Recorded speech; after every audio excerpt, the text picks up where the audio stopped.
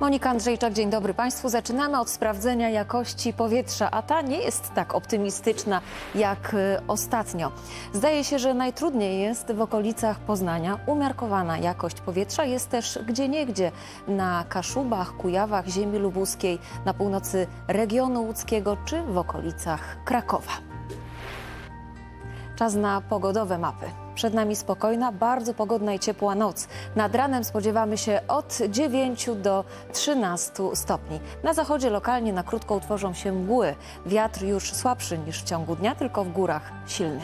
Jutro przed południem coraz więcej chmur będzie się zbierać od Niziny Szczecińskiej po Dolny Śląsk. Poza tym bezchmurne niebo. Bliżej godzin południowych mocniej powieje na wschodzie kraju aż po wybrzeże.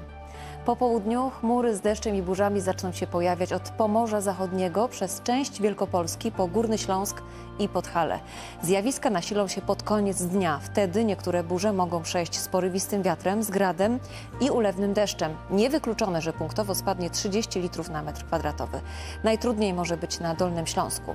W tym czasie nad resztą kraju słonecznie, tylko dość silny wiatr może być we wschodniej Polsce po Zatokę Gdańską. Na termometrach jeszcze sporo, bo od 20 do 26 stopni. W czwartek czasami popada od północnego wschodu po Podkarpacie oraz w południowych regionach po Nizinę Szczecińską, a zagrzmi na południu. Poza tym pogodnie, a najwięcej słońca od Pomorza Wschodniego i Kujaw po centrum. Od 13 stopni na Podlasiu do 20-21 od centrum po zachód Polski. Wiatr w końcu osłabnie. W piątek już w całym kraju dużo chmur, popada deszcz, niewykluczone i burze, zwłaszcza na północy, no i maksymalnie od 14 do 18 stopni. Dobrego popołudnia, do zobaczenia.